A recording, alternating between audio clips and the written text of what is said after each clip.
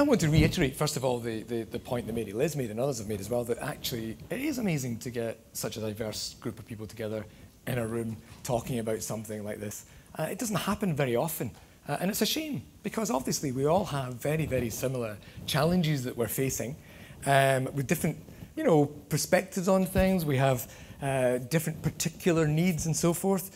But we do have really common challenges, when, especially when it comes to the digital. Uh, and one of the points I think that came out in, in each of the presentations was, was around the idea of, of the continuing professional development, the need for uh, training and upskilling of those who teach uh, at all levels in education. But I think it, it should go beyond that. I think it's not just those who teach, it's those who support learning, it's those who have any role whatsoever in the educational enterprise, including the senior managers, uh, many of whom uh, will admit, if you speak uh, quietly with them and they don't have a microphone, that actually they perhaps could do with a bit of upskilling themselves. A bit of jargon busting is what most of us need, I think, from time to time because the pace of change is, is, is so rapid.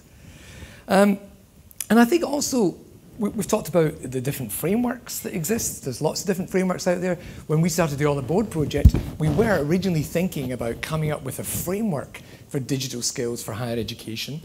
But when we did our literature review and found that there were already over 60 plus pre-existing frameworks for digital skills, we thought the last thing we need is another framework. So why don't we do something a little bit differently? Why don't we think about the points that were raised by each of the three presenters? Think about the implementation now. We've got frameworks, we've got policy documents. The, the amount of research and work that's gone into those documents and into those policies is fantastic. It's really, really good. So we know what we need to do. But the big question that we haven't really answered yet is how do we actually do it? Yes, there's a myriad of things that were uh, explained and, and, uh, described in the various presentations.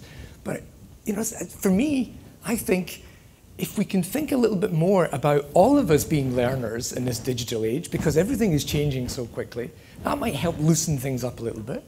And if we can think about um, the, the aspect of confidence, because I think that's crucial. I think it's not just about being technically competent and being able to tick off a list of skills, but it's more about feeling confident, feeling to some extent that you're in control in this environment and that you feel confident enough to make decisions about when to use technologies and when not to use technologies. That you feel that you can take a critical perspective on them when it's needed. And I think if the overall policy goal is about developing a creative and an innovative Ireland, then confidence is crucial to that. We can't be creative if we don't have the confidence to experiment and to try new things. So I, I just think that uh, those are interesting points that were implicit and sometimes explicit in some of the presentations. Um, I think when it comes to implementing, one of the things that appeals to people so much about digital technologies is that they can be fun. They can help boost creativity. You can play with them. So I think it would be the ultimate irony if we set out to develop sets of policies and training programs and frameworks and schemes that are really rigid and traditional to try and boost people's creativity and confidence in something which is inherently creative, adaptable, multimedia. So it would be nice, I think, if we could all think in all of our different sectors about perhaps slightly more imaginative ways in which we might go about this CPD. Right? The title itself, CPD, sometimes causes yawns, some do preemptively yawn, dare admit. but, but you know, I mean, we, we know you know, I, I, live in Galway. Galway is full of festivals and creativity and all sorts of things happening all the time. That's why I look so exhausted. So, I mean, can't we do that about CPD as well? About learning, about enjoyment? That helps with confidence as well. So I just wanted to chip those points in. Is that okay? Well, we have a couple of minutes. Um, uh, anybody got any questions for the panel? Uh, we would have time just about for one, maybe two. But if not, I'm going to chip in some questions. Anybody? There's a gentleman here in the front, if we can bring the roving mic. This gentleman in the white shirt, and if you could identify yourself when the microphone comes to you, please. No, no, no not him. Th this, this gentleman here, sorry. Sorry. Hi, thanks. Uh, Perry Share from the Connacht Ulster Alliance.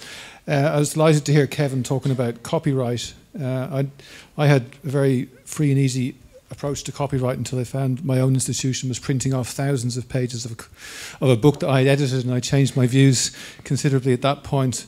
But I suspect that similar things are happening across virtual learning environments and digital uh, educational packages across the world, not just in Ireland. But in Ireland, we don't really have any legislative or, or institutional protection for copyright or no efforts as far as I can see to to educate educators about copyright and intellectual property issues. So I don't know if any of you up there are aware of anything that is happening to move that thing along. If we could start with you, um, Kevin. I mean, like, do you do you are you aware of that as, a, as an issue in, in this digital framework? That not just the you know the copyright issue that's been raised there, but other legal frameworks, particularly that one of the things that you associate with digital is cross jurisdictional. Sure. and where multiple uh, legal jurisdictions may apply. I mean, certainly, the, the, the, the, forum, the national forums uh, uh, work on, on, on, publication, forthcoming publication on policy certainly covers that, and that was the context I was talking about it there, Perry.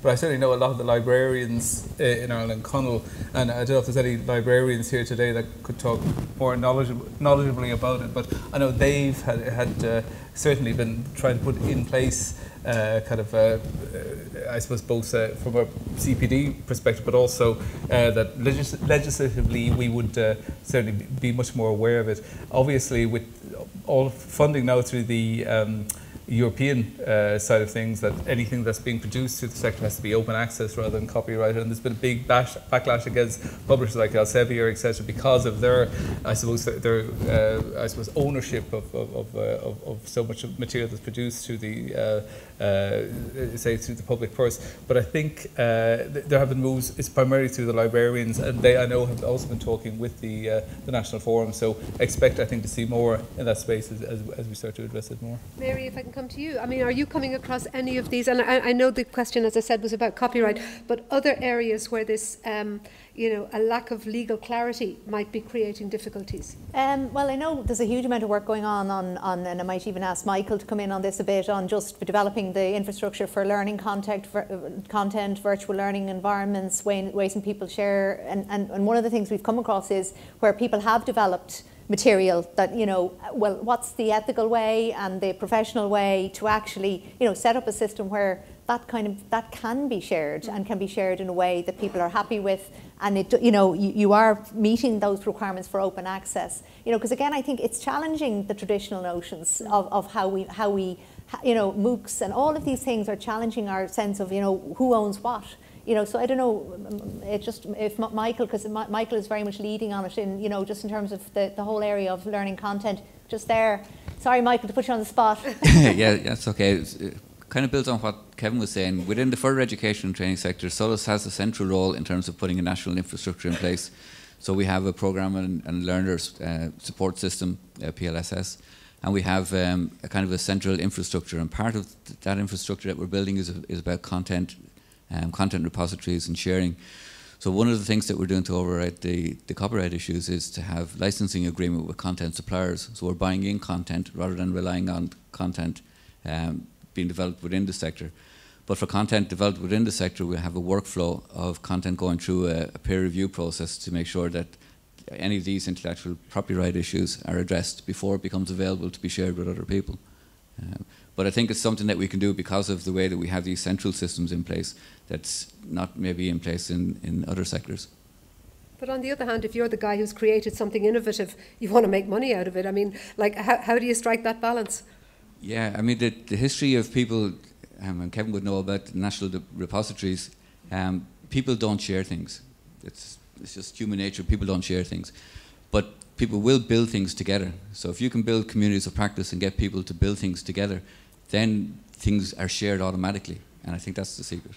Okay, I'm going to take one more question from this gentleman here and then we'll move on to the next panel. Uh, th thank you. Uh, my name is Rory O'Sullivan. I'm the principal of Killester College of Further Education and a member of the Dublin Regional Skills Forum. Um, while reference was made to resourcing earlier on, um, it, is a, it is key to everything. Like you can have all the ideas in the world, but if you don't have the resources to implement them, that's fair enough. And like we, my own place, we've been involved in virtual learning and blended learning since 2004. but it is not recognised. There is no recognition whatsoever in the staffing models. The staffing model from the Department of Education. I'm not, and this isn't a bash the department day, even though I'm up for that any other day. um, is that it's basically 19 students, one teacher in a classroom that's shaped like a box. Teacher stands at the bottom, at the top, and everyone is um, like educational veal calves in rows, and that's the that's the resourcing model. So there is no resource for digitalization, even though like all the strategies are like nobody would disagree with a word of it. That's that's perfectly fine and fair, but it doesn't work. Um, before I sort of moved from the classroom, I've been teaching computer science in schools since 1986, when they were using batteries and very big computers that didn't do much and all of that kind of thing. And the computer, the money that came out of the department was to buy equipment. Okay, I'm delighted that Eddie is here and the, and the talk of all the CPD and all that. I think that's to be very, very much welcomed. But there is no, there is no money out at all for maintenance. At the, mom- at the moment, particularly after the last 10 years we've gone through, you're holding things together with baler, baler twine and sellotape. But what's actually happening is the amount of classroom money, classroom materials money that's been used to buy more baler twine to hold the computer together is exorbitant. And actually, what's actually happening now is we're running foul of procurement rules um, with the maintenance companies because we're spending so much on maintenance. It'd be actually cheaper to buy new computers, but we don't, we can't do that for all the procurement rules. So, like, resourcing is fine, and it, you do need people like me to do it because it do, if it doesn't happen, but what's actually happening is all the ideas are long since past the resourcing models to support them.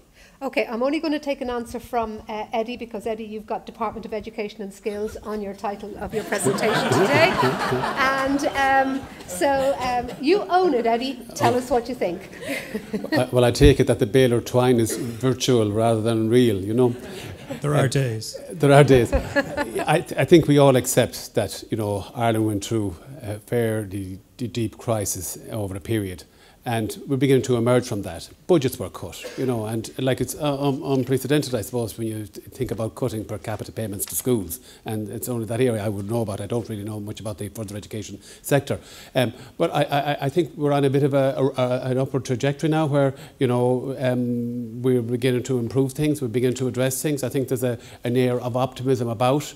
Um, I think we're beginning to address challenges in the system, you know, PTRs, schools, equipment, that kind of thing that we might have been in the position to address, uh, you know, a number of years ago. It's all a question of priorities, and you know, you know, the big kind of challenge for the department and for the system and for the, the society. You know, we have a, still a growing student population, and that means more teachers and that will mean more schools in certain area, parts of the country, and that will have first call, uh, you know, along certain other priority areas. Um, but I do think there is recognition in the system. You know, there is a 210 million commitment in the digital strategy. Um, a lot of that will go on equipment, and we believe that that will address some of the fundamentals. And you know, there, there, there, we are aware of the reality. Our inspector tell us of what's happening in schools. So um, I, I, think I think um, things will get better. Well, I think that's as good as a, close to a promise as you're going to get, I'm afraid. Uh, ladies and gentlemen, that concludes our fourth module today. I'd like to thank our speakers, Eddie Ward, Mary Liz Trant, and Kevin O'Rourke, and Professor Iain MacLaren for uh, bringing his uh, analysis to, to boot. Um, I'm going to ask our panellists to leave the stage, and if you can just bear with us for two minutes while the next panel come up. Thank you.